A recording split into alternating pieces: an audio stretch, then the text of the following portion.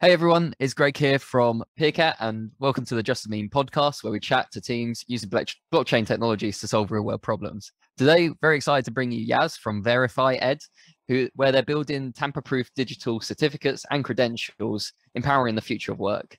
So really good to have you here. I know we've met before, but it'd be really great to dig into your background a bit more and sort of like tell the community about you. Cool. Thanks a lot, Greg. Um, thanks for having me on the show and really, yeah, really excited to talk to anyone in our space who's looking to build the future um, using blockchain. You know, yeah. it's been a phenomenal journey for us so far. Um, but yeah, just a little bit about myself. So my name's Yaz El Hakim. I'm the co-founder and CEO of VerifyEd, a company we founded three years ago, where having been in my background has been in higher education, where I worked at the University of Winchester for about 14 years, um, doing every role from hourly paid lecturer through to um, senior exec team, for director of learning and teaching and student engagement. So knew the educational space quite well. Um, and had also worked for ed tech companies like Instructure, Cortext, and RefMe uh, around the, well, in Utah and in Europe, um, building high performing teams. And actually, having had experience in both of those areas, I was really excited to see if something could be built that wasn't just for while people were at university, yeah. actually moving into a lifelong learning journey and starting to understand people doing more micro credentialed learning and the ability for them to upskill when they're in work, etc., as well as the traditional studying routes.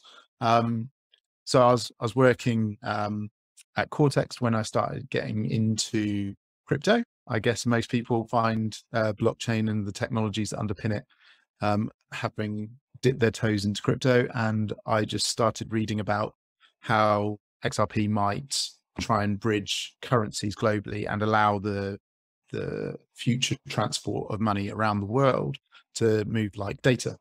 Yep. And it really piqued my interest. And I thought, yeah, there, there does feel like there's a lot of friction there. A lot of the rationales were pretty powerful. And then I thought, well, why isn't anyone looking at removing some of that friction when students leave university? Why aren't we creating a lifelong learner bond with students as they graduate? Typically, when I was in the university, we'd graduate students and we'd say, Good luck, we'll speak to you in the future to see how you're getting on in your work. Um, and we'd switch off their email, remove their library access, and almost cut ties with the student. And it felt um, it didn't feel quite right. It felt like we were losing a potential, but also we'd built up such a strong relationship. It's a, it's a shame to lose it at the point where you give someone a paper certificate. Um, and I just kept thinking about this idea of increasing certificate fraud internationally, the ability for us as an institution to maintain better relationships with our learners, and for the learners themselves to have something that's 21st century ready that can be shared remotely around the world um, many people looking at remote work uh, opportunities in different countries. Actually uh, and you look at the growth of remote and Deel and you know trying to help some of those remote workers have a great experience being onboarded wouldn't it be great if during that onboarding process you just shared a blockchain backed immutable certificate that says i've got this degree from here i've got these skills from here and i've done these micro credentials on these platforms. All in one place easy to share curate and for the learner to hold through their lifetime um, so we started validating, and literally it started on a bike ride where I mentioned it to a, a friend of mine that Abby and I had been mentioning, uh, been discussing, and it grew into a journey. And it literally started bike ride. Well, validate it. Just speak to some people, see if people would actually use this. Is it going to be useful just in education or beyond? And we um, we started speaking with the Law Society of Ireland, and they actually went on to become our first uh, production client uh, issuing for CPD. They have to be able to monitor the amount of CPD that the lawyers are doing across uh, any year so that they can maintain professional standing. And they just said, it would be amazing if we could actually move to a digital model where everything's issued. We can centrally and easily access what people have done and how they've done it, in which mode, etc. And we're able to easily aggregate that into a professional membership qualification or credential. Um, and so we've been working with them on that and then now scaling across the institution this year, which is fantastic. But it's it's largely an analog to digital transformation for them, whereas for other institutions like University of Middlesex, uh, also scaling this this year, have been um, the University of Middlesex said they wanted to better surface the skills that students are getting through their degrees. I think there's a lot of academic language used uh, in learning outcomes and in program out- outcomes that aren't necessarily easily understood by employers. So the use cases of why people want to use our platform and the digital credentials that we've got backed by blockchain, um, building on the XRPL, has been actually quite varied. But interestingly, it's wherever it can help remove friction, wherever it can create automation and create uh, increased speed. Um, and that's been a phenomenal journey to be on. It's had highs and lows, no doubt, as I'm sure you're aware. Um, the, these journeys always do, and it takes certain mindsets and certain individuals, I think, to go and embark on them. But we have been supported by phenomenal investors. Um, we've raised half a million to date to get to the where we are, and we're looking to raise 1.2 now to really accelerate the traction that we've got. We've just got our first national opportunity as well, um, where we really feel people are starting to understand what the benefit of having a digital immutable credential um, would be for both end learners and the institutions issuing them. So it feels like we're starting to build momentum, um, and we're also really pleased, I think, as part of our journey because we've been closely watching XRPL developments, um, particularly around uh, certain uh, improvements, uh, XLS 20, etc., and others that other people are watching. But we're able to receive an XRPL grant as part of Wave 2, um, which has allowed us to validate and try and better understand how other people may want to use our verification process of the mutable issued data in other verticals. So for insurance or health or other areas which aren't so educational, future of work focused. Um, and that's been a really eye-opening experience speaking to really incredible names that I, I won't mention here, but really high level uh, luxury brands as well as uh, health service providers. Yeah, I think there's there's multiple things I want to unpack there. Um, so I guess, I guess starting with the platform, the sort of idea that you want a centralized, uh, I use the word centralized, a place where an institution can go and check, or even a job employer. It isn't, you know, and check people's credentials. It isn't so much a new idea, but it's interesting how blockchain here feels like very appropriate for it you get some things where they're trying to shoehorn blockchain into it um but this this sort of fits feels like it fits incredibly well yeah. um i don't know if you want to sort of talk about that like how an open ledger is better in this case than a absolutely and i think it's important to to mention that we've got regulatory elements that we have to consider as well um, through gdpr and other regulators so in actually the way that we've had to create the platform and to be able to create blockchain immutability behind it whilst also mm. preserving privacy has been uh, quite a challenge and we're open to speaking to other members in the community who are um, also dealing with that situation and looking at how they can be writing other uh, data to the blockchain in a privacy preserving way i think that's one of the key areas that we'd like to learn more from other people in the community about but in our perception of starting in a situation where blockchain has a relevant uh, importance, lots of people are just adding it as a layer, create the buzzword, and great, we've got a business that uses blockchain, but it's just unnecessary. Whereas in the realm that we are, we see ourselves as being a bridge between Web 2 and Web 3. And until people and Web 3 technology is until the infrastructure, I think, is mature enough to allow the mass populations to use it um, easily with, you know, backup and support. So you lose your keys, you lose everything. It's um, it's quite a high risk uh, mm. Option for some, well, for many people.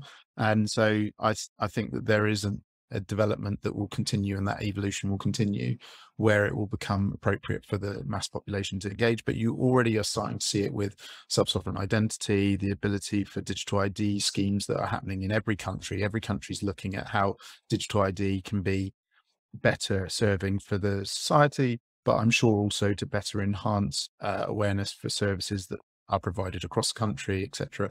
Hopefully, no nefarious um, uh, desires, etc. But ultimately we believe that digital identity will be a positive good for society and actually if it's in a decentralized way where I own my identity and it's not something that can just be in a centralized way shut down, then it, it creates the best of both worlds that, you know, there is central um, evidence and visibility, but decentralized control and ownership. And I think that's where we start to find uh, greater trust in society. Um, and so that's one of the reasons I think we see ourselves playing in a digital identity sphere.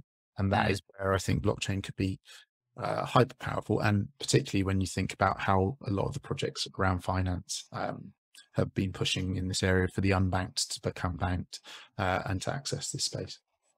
Yeah, I think yeah, I. It's interesting. I, I was thinking while you were saying that, like one of the big problems with decentralized systems, and it'd be interesting to see how you're solving this, is the the issue of getting off-chain data via oracles into the system. Now, I think in a university environment, that's that's going to be okay because you've probably got the professors and stuff. They, they can all log into one system, sort of thing, upload it, or maybe you scrape it from their existing systems and whatever it is, and feed it all in, so that people slowly know. I guess. Yeah, so we approve we approve everyone who issues through our platform. Yeah. Okay. So there's no there's no scraping of data. We literally, if people issue through us, we'll then say by guarantee this qualification has been issued by this yeah. learner, and that's the way that we're getting around um, one of the things, which is actually verification of data, um, where currently it costs twelve pound in the UK approximately. It's actually slightly more. We we ran through the process ourselves of verifying a UK degree. Go yep. through an organization called HEDD owned by JISC. Um, and that process actually can take quite a long period of time. It took us a month and 34 steps, and we documented it um, just for our own learning of understanding what the current problem is. But by issuing an immutable credential means that by guarantee someone can access it, trust that it's accurate and that it's correct. And if it's still verified against the data that was issued in the first instance, then for free, an individual is able to verify that that's there. So it removes a cost, it removes time, and in many cases, it becomes a manual process for the institutions to go back through records and check this. Yeah. So we're working with institutions where they have to be a uh, they have to be a partner. They have to be able to access the the system to be able to issue directly through the system. So that's the way we guarantee the data that's coming in is quality and is trusted. Um, and it also means that we have an opportunity when an institution wishes to become a mentor, uh, um, a partner, they can uh, they go through our uh, quality checks effectively to verify that it's an authentic institution that's issuing valid credentials. Um, we've seen a lot of examples where badges and such like are being issued by other parties, and yeah, yeah. they're dubious to say the least. I, I would say some are clearly just advertising, um, yeah. and some are yeah spam. Yeah, It'd be yeah. I was I was thinking about the the other couple of use cases you mentioned, high end fashion stuff like that, and thinking I, I always use like how how do you verify that a banana is you know where it's from sort of thing, and you think of all the constituent parts and crypto, although it protects from like a man in the middle attack, it doesn't actually get around the fact that these oracles are still needed to be in place. And I was just trying to think through in my head like all the different ways where you could feed the information in from trusted sources um, to do that. But I, I don't think you you guys are not looking at sort of supply chain stuff. You're more looking at the end result. it's interesting. I think I think the end result is ultimately what we're interested in in terms of the outcomes achieved and in in our example is the skills that are surfaced. So if you take a high end watch, then, you know, there are constituent parts that go into making the watch, you know, where the materials are sourced, are they sustainably or ethically sourced? Some of mm. these are really important questions now, both to consumers, but also to retailers uh, and manufacturers. And so being able to evidence that, I think, is going to be a growing um, desire for anyone who's wishing to sell and to be able to demonstrate how they're basically having a positive impact on the world as opposed yeah. to um, uh, overall negative impact. Whether that's carbon or um, employment, etc., avoiding slavery, etc., in certain parts of the world. Um, there's been quite a lot done around, I think, blood diamonds and being able to take the identity of a diamond, because I think each diamond is uh, unique in its own right, and there's a way to identify them. So then you have the ability to show provenance of the diamond, where it was found, where it was created, by which mine, is that mine audited and uh, adhering to certain compliance standards, etc. Yeah. Allow people can feel confident in the purchase. Um, so although I say we're not supply chain, I think there is an element where everything to a degree has a, a reflection of supply chain. Yeah. Um, students come into the system, they have experiences that hopefully create um, better ability to debate, to discuss, to um, research and investigate, to um, present and communicate their uh, findings from their studies. And all of that is generating skills that they wouldn't have had at the beginning of their degree, which then show value add through that process and then an outcome at the end, which is a graduate who many employers would want to then employ. In in the other examples, I think they're similar, but they're with inanimate objects rather than necessarily with um, living beings. Yeah.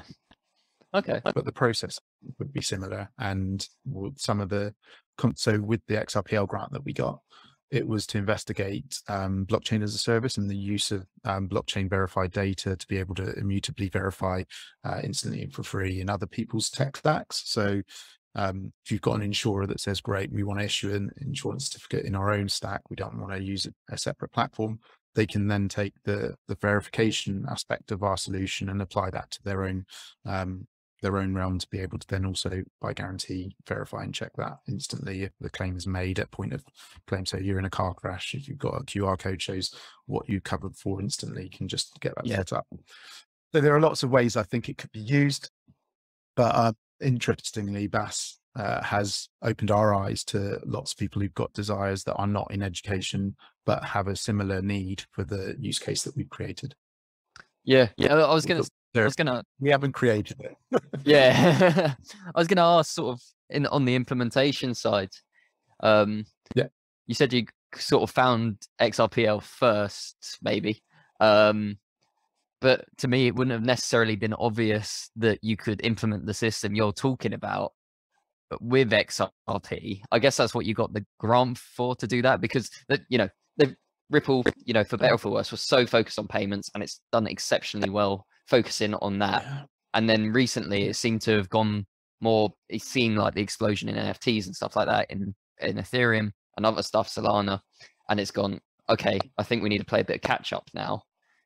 Mm. Um, now we're, we're seeing these amendments come through. People are doing cool stuff like the XLS 14 was a nice workaround, but it's still not probably where it needs to be for this provenance and that's really where XLS 20 comes in. But we can talk about that. Yeah, I, I just wondered how it all fit together, how how you zoned in on XRPL rather than I I don't know what you're doing at the moment, issuing on ERC 20s or what's sort of happening.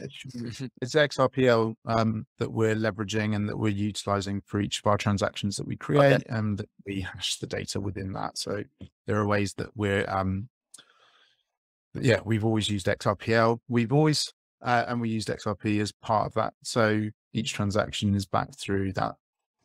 My, I guess the reason that we always used it is when I looked at others, um, it was just it was just clear that there was it was on some levels it was boring you know, the XRPL was quite boring. It just yeah. does what it's always done. It was there. It's always done there. It, it, it worked exactly. for 10 years. like and whatever, 70 million odd um, ledgers closed. It just, it just worked. And I was just, when I was doing my reading and I was listening to the videos and the podcasts, this is going back in 2017. So my first taste of XRP was also when I read that it was going to do cross-border um, transfer of value. And I thought that's brilliant. Bought a little bit, enjoyed the end of 2017, as lots of people with XRP did. Um, have enjoyed the pain since as well because there's been a lot of learning yep. through. but the the ultimate point here is that I I just thought look at I've, I've always felt this when you look at um you're looking at competitive analysis of a market you look for the individuals you look for the backing and you look mm. at what the the problem they're trying to solve and how well they're going to do that and I just think you know, I was exposed to the likes of Brad Garlinghouse or David Schwartz and Wietse Wind, and you know, Wietse Wind has been incredible. He's on our board. Lauren Weymouth's incredible. Like there are such amazing people in Yeah. that ecosystem that from the very first stage we and we were very struck by XRP Tipbot and how that worked and how it actually Yeah, scaled so quickly and allowed so many people to virally tip each other. And we also think, think that there's a, a really exciting future in that area for um, additional credentials, not just institutionally issued ones, um, but almost peer-to-peer credentialed ones. yeah, endorsement. we're able to endorse. Yeah. Um, we think that that's phenomenally powerful as well. But we just it, we saw it worked. It hadn't ever stopped working, and we wanted to be able to build on something that we weren't going to have to switch back and forth from. There weren't going to be huge varying fees, um, you know, that we've seen with Ethereum, Bitcoin, and other blockchains in that respect. Um, there were others that we looked at, but it just felt like it was the most scalable, the fastest, the most Yeah. um, for for ourselves, carbon um, likely to become carbon neutral now is. Yeah. You know, that idea that we wanted something that wasn't going to cost the earth to actually verify everything. Um, that was that was important to us. And so it just fit at the time. And I think yeah, I think it was a great decision looking back on it. The grant has then been to be able to extend into other verticals rather than the one that we built on, but we built on it before we Ah, okay. Yeah, that makes sense. Yeah, it's funny that um, Scott Chamberlain said exactly the same thing because he was coming at it from a law sort of point of view. Um, Yeah. I don't know if you've chatted to him, um, but yeah, r- r- incredibly intelligent. Um, he, I think he was doing something slightly different, and that's how it ended up building into Evernode Yeah. because he needed different stuff there. But yeah, it's funny. He said exactly the same thing. He said that you know I came at this, I looked at something that's going to have you know the staying power that's going to last forever. Because if you're verifying credentials, you don't want this thing to suddenly shut down and become a ghost chain. like, And I was always, I was always struck because I think Brad Garlinghouse is well cited as saying that, you know, 90, 95% or some a significant percentage of tokens will disappear. Mm. Um, and that was quite interesting. And I don't think that's quite happened yet, but I think it might still be likely to happen um, in the future. But that idea of wanting something that, like you say, is going to have the longevity to continue. Um, in sports, uh, when I was a sports psychologist, there was a phrase which was previous performance predicts future performance. And so actually, if you've been going 10 years and you've had no errors, that feels good. Yeah. Like two years ago. Yeah, it might be more developed, it might be more advantageous, but it might not be here in two more. And so it's that idea of, okay, where's where can which wall is strongest on that we can then lean on? And um that felt that felt good. It was also the developer community. Yeah. I mean, it's phenomenally strong in the XRP It- community. it's definitely getting stronger as well. I, I don't know what you guys feel like it is, but um, like even just just a, a a single thing, the Discord being there and stuff like that, and people, the interaction there is it's just constant, and it, it is amazing to see everyone chatting about it. And I think the last time I checked, there was about 800 people in it, maybe two months ago, and now it's like almost 2,000. So it's growing incredibly quickly, and if you know, if we take that as a proxy, that's that's in the last couple of months that that's happened. I- I, I, th- I think it's getting better and better. I really, I 100% agree. I also think that there's a community beyond the developer community that is also very impassioned and very Yeah. uh, strong believers in both the team behind what's growing and the developer community, Mm. but just passionate about the project overall and what it could bring to society. So, Yeah. um, when um, the XRPL Foundation actually then put the call out to spin up um, more servers to do the throughput, actually, it was amazing to see that um, Yeah, sponsor page just fly in terms yeah, of donations and making sure that the XRPL um, continued to function effectively and efficiently. It's yeah, one of the most amazing things I've seen. yeah. That was quite an incredible time. Um, So, talking about like the XRPL, XLS twenty is probably the most talked about thing. I think we've we've had a bit of movement towards going yes. I saw Visa had put up his one is yes. Um, what what what would it enable for you XLS twenty? Because you sound like you're pretty sorted already. um, does I- it I take it a step further or? Yeah, I think there's some interesting use cases that we could investigate um, with it coming into into production. I think there are ways that we could actually structure how uh, transactions are issued and how the verification verifications happen, which could actually slightly change how we currently do it. Um, Mm. We're not committing to anything yet, but we just believe that there's capabilities in um, that standard coming through for us to be able to uh, enhance what we currently do and make it slightly more future proofed. Yeah. Um, so, you know, the ability for us to be able to have it all function, even if we weren't here, for instance, in the future, that ability for people's transactions to just remain uh, in longevity. We think there are certain capabilities around that as well. But as I said, it's just really great to see so many community developers actually driving this forward and that strength growing across. Um, Mm. I, I probably wouldn't say too much just yet on how we'd use it, but um, there are lots of uh, potentials, not just in education, that we're really excited about. Yeah. I know there's a big push about we've sort of touched on carbon um, a few times and credentials and proving all that, and that brings its own challenges. But yeah, Ripples really seems to be leaning into it with the funding there, um, Yeah. the XRPLF. Oh yeah, I think it's hugely exciting time to be doing credentials. I think you're in a good spot. Um, talking about the future, um, what's the sort of plan for verified ed um, going forward? Is it more clients, more customers? You said you Yeah. got some promising chats with other verticals. Uh, Another grant in the wings, maybe. um, definitely another grant in the wings. Um, we've also got lots of exciting areas that we're looking to. So with our national um, partner, we're looking to scale that. So that's a hundred thousand credential nationally Wow. uh, as a pilot over the next few months, but scaling up to two million credentials. So that's um, going to be getting a lot of our time and effort. yeah. Um, but we're also then looking at increasing the number of institutions both in the UK and uh, around the world. We've had fantastic interest from you know colleges in the states to um, places in Europe, in India, in Africa that would all like to um, have their credentials more trusted internationally and to have those skills surfaced Mm. by the, of their graduates as they're going through their systems. And I think that that's again another opportunity where um, you know, globally, the um, recruitment of talented individuals is actually quite narrow at the minute. You know, it's Yeah. quite selective uh, educational pathways that result in people having specific qualifications from specific institutions that are then um, highly sought after. Actually, I'm seeing a shift there where people are saying there are highly talented learners all around the world, and if there are ways that we can better surface the the talented learners, the voracious learners, the ones that want to uh, constantly learn. That's the one that employers have been really singing about. They're the ones that we know that will be with us in 10 years because they'll have adapted, gone through Yeah. roles, built teams on the way that are succeeding. And it's it's actually coming back to almost a mindset and almost to people's um, approach to learning rather than what they've learned. Mm. Uh, I think that's going to be an interesting distinction as well as we start to look to scale internationally. Um, but yeah, we've got we've got lots of new people to ho- hopefully we've got one new one to onboard, which is um, uh, not for profit, which is doing some really remarkable work uh, work in Africa. Um, and we've got uh, we've we've done a project with the World Bank previously, but we've got additional projects that we're hoping to be able to line up there as well.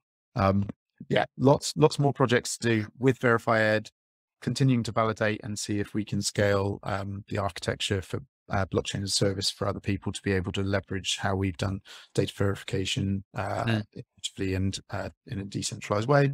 And then, um, yeah, we will, we'll see where we go from there. But every part of the journey has had unexpected elements, some good, some not so good. So we'll just keep taking the challenges and the problems as they come up, Yeah. knocking them out the park, and uh, see where we are in a year. Oh, that's great. Um, yeah, I, I think that's a, probably a good place to sort of wrap it up. I don't know if there was anything else you wanted to shout out or um, tell everyone where you can visit. Obviously, I'll put it in the description and all that. Um, to find out more, follow you on Twitter. Amazing. Yeah, thanks. I'll send you some links that you can put in the, the comments. Um, but we, yeah, I just wanted to be able to shout out the team at Verified. They've been uh, epic and amazing to be on the journey with as we've grown uh, and developed over the last uh, two and a half years, three years.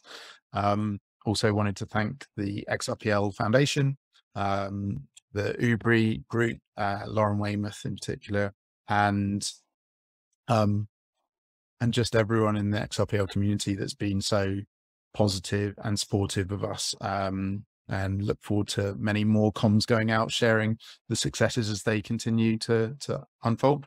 Yeah, sounds super exciting. Uh, I'm sure everyone will be uh, really watching closely because yeah, it sounds like you're onto a real winner there. So, well, please, if anyone wants to get in touch, please do through the contacts that you provide in. Um, we really want to be uh, deeply integrated in that community. And so, if we haven't spoken to you yet, please do reach out.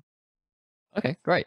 Um, okay, I guess that's it for today. Thanks everyone who's still here for tuning in and uh, uh listening to such exciting pro- uh, problems that are being solved solved by blockchain uh, get involved, give us a like, uh, send comments, and uh, tell your friends about it because that's how we're going to get the word out. Um, and yeah, subscribe and looking forward to the next chat. Thank you so much, Yaz, for being here. And uh, yeah, really excited to see where VerifyEd goes. Thanks a lot, Greg. Really appreciate it. Have a great day.